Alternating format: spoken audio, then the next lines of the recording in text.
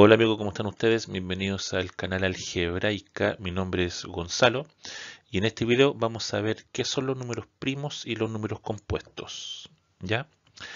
Los números primos son aquellos números que tienen como factor o son divisibles por el número 1 y el mismo número. Por ejemplo, el 2, el 2 se puede dividir en 1 y en 2. El 5 lo puede dividir en 1 y 5 el 7 lo mismo, el 11 y el 13. Estos números solamente se pueden dividir en uno y el mismo número. ¿Ya?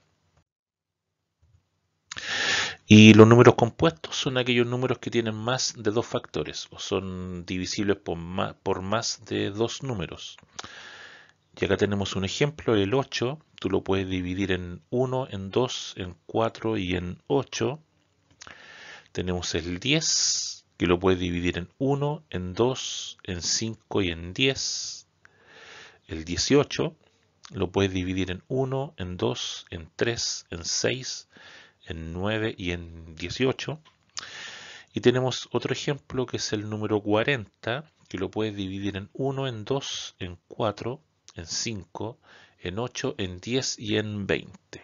¿Ya?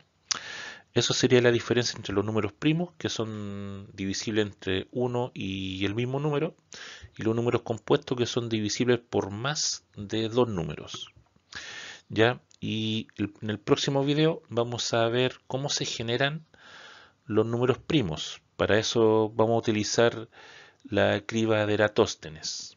Esa es la manera de, de generar números primos. ¿ya? Eh, pero eso lo vamos a ver el próximo video. Y sería todo por este video. Si te gustó, dale me gusta, suscríbete al canal y nos vemos en el próximo video. Chao.